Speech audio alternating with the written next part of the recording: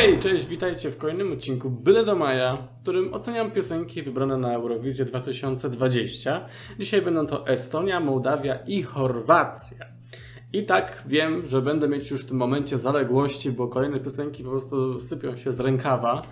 No ale taki jest urok tego, że chcę przesłuchać wszystko na bieżąco razem z Wami po raz pierwszy. Więc nie oszukuję, nie przesłuchuję tego szybciej. Czekam na to, żeby nagrać odcinek.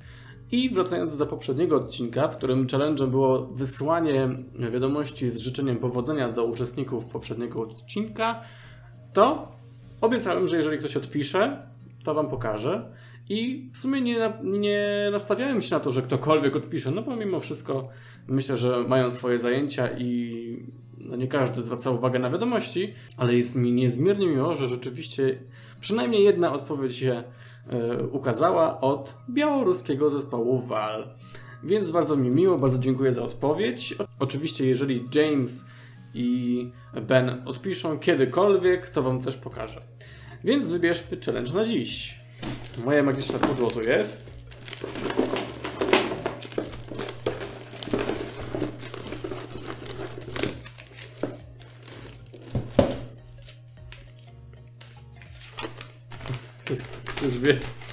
Hashtag tulimy. Wymyśl hashtagi dla fanów dzisiejszych utworów. Zaczynamy od Estonii, która debiutowała w tym samym roku co my, ale oni już mają jedno zwycięstwo na koncie prawie 20 lat temu. Czas mija.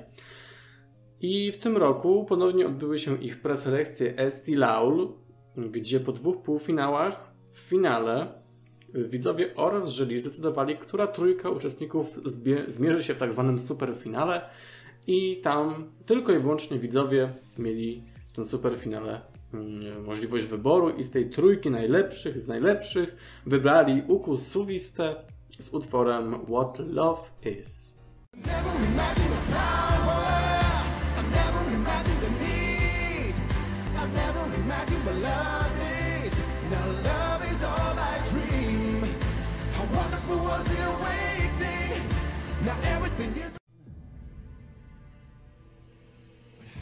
O Jezus Maryjus. Czuję tutaj jakąś inspirację y, z Sergiejem Lazarewem i Scream. Ten sam patos. Widziałem tam z tyłu napis Love. Już się boję. Ładnie scenę udekorowali tymi światełkami. Współczuję sprzątać to. Refren jest ok, refren mi się podoba całkiem. Ale zwrotka trąci patosem. Nie mu się serduszko kraja i... Jeszcze nie przechodzimy w taką płaczliwość. Ale mam wrażenie, że tak się to skończy. Łzawo.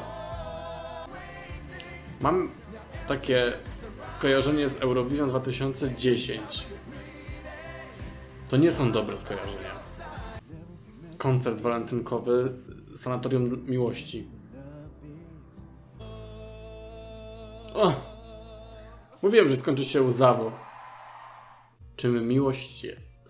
Nie wiem, czym miłość jest do tej piosenki, bo miłością nie będę pałać do niej. Nie ukrywam.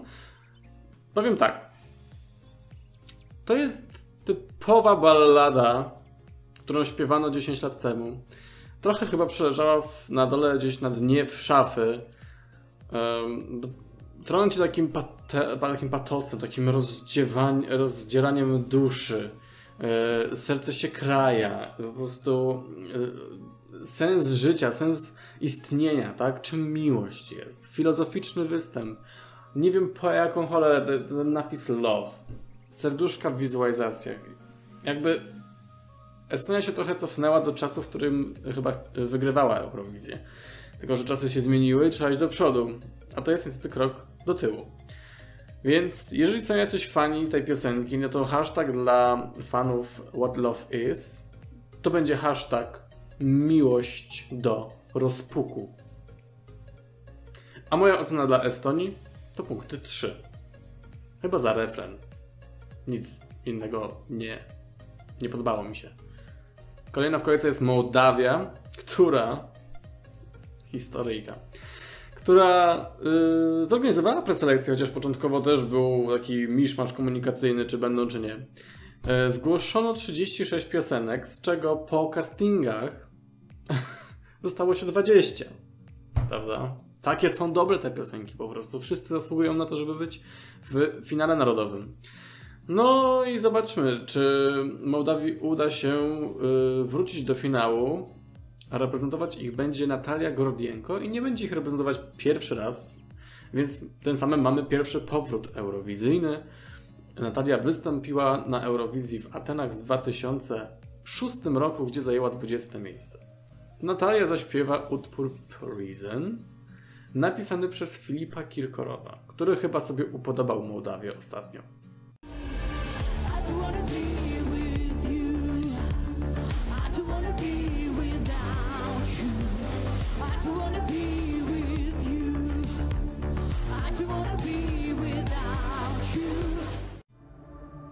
Widzę, że IKEA sponsorowała ten występ. Ej, coś mi tu przypomina. Okej, czyli Mołdawia zostaje przy piosenkach z wenezuelskich telenoweli. Nawet fryzurę ma pani taką. Nie chcę być z tobą. Chcę być z tobą. Chcę- Nie chcę być z tobą, ale też nie chcę być bez ciebie. To jest moje więzienie. Jestem uwięziona, bo nie wiem jak żyć. Kolejna filozoficzna piosenka. Kolejne rozdarcie. I duszy, i ciała, fryzury. Tylko czemu masz rajstopy założone na rękach, dziewczyno? Tam mieliśmy walentynki w Estonii, a tu mamy imprezę sylwestrową 9900. Jeszcze ten angielski taki typowo wschodnim akcentem. O Jezus, co jakie wejście. Mamy tutaj... To chyba strażnicy więzienni. Widzę, że to inspiracja chyba e, Dotter ze Szwecji. Z tym światem. O Boże, oni wszyscy to przeżywają. Tylko nie ja. Mieliśmy dziki beat w refrenie. Teraz wchodzą jakieś etniczne zaśpiewy. Pani dostaje jakiegoś orgazmu. Obmacowują ją jeszcze. Jest na boso. Bo każda szanująca się eurowizyjna piosenkarka musi być na boso. Czy to będzie stosowane jako tortury w więzieniach? Puszczanie tej piosenki? Albo może powinno się ją zamknąć za y, śpiewanie takich y, badziewi? To jest kategoria paździerz. Naprawdę piosenka sprzed lat jeszcze głębiej zakopana. Tak jak mieliśmy szafę, gdzie Estonia odkopała z dna, to Natalia Gordienko odkopała ją jeszcze z piwnicy. Ta szafa była taka głęboka. Tu się po prostu czas zatrzymał. W 99 roku i strój, i fryzura, i piosenka, a słowa to, to ja nie wiem, to oni chyba losowali na kole fortuny te słowa i je sklep, zlepiali, bo to po prostu nie idzie. Yy, nie idzie sobie wyobrazić, że to się dzieje. Ja może śnię, może ja, trzeba mnie, nie wiem, obudzić szklanką wody, us- uszczypnąć czy cokolwiek zrobić. Miałem wrażenie, że ja, yy, jak kładłem się spać, to był yy, 2 marca 2020. Budzę się, a mam chyba 2 marca 2001. Jeżeli są jacyś fani tej piosenki, to polecam im hashtag Prison Break. Jak taki popularny serial. Mam nadzieję, że uda Wam się uciec z tego więzienia. Moja ocena dla Mołdawii to jest punktów zero. Ja nie oceniam tego w kategorii nawet piosenki. To jest gwałt na piosence. To nie jest piosenka. To jest obraza dla muzyki. Zero. No dobrze, kochanieńcy, idziemy do Chorwacji. Chorwacja ponownie przeprowadziła preselekcję o takiej pięknej nazwie Dora. Yy, I razem z jury widzowie zdecydowali, że w tym roku Chorwację reprezentować będzie. Tu muszę spojrzeć, bo to są trudne nazwy. Damir Kedjo, jeżeli tak się czyta, z utworem Divli Vietre, czyli Dziki Wiatr. Zobaczymy, czy ten wiatr przywiał mu piosenkę może bardziej nowoczesną niż poprzednicy.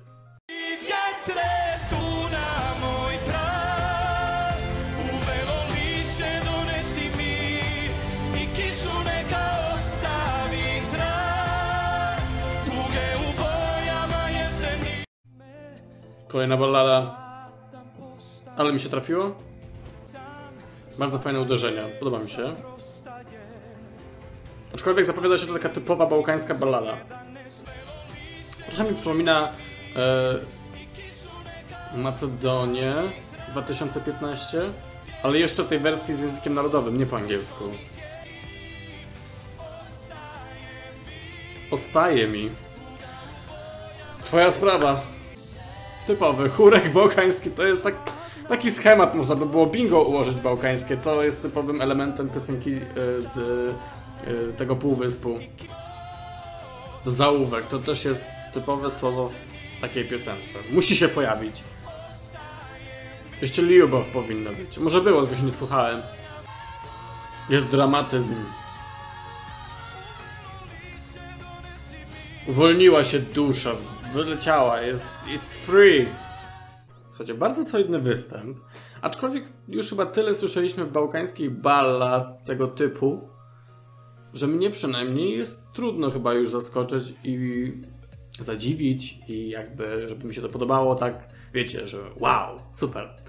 To znaczy tak, jest to bardzo poprawne i bardzo też przeciętne. Jakby nie odnoszę żadnych większych uczuć wobec tej piosenki.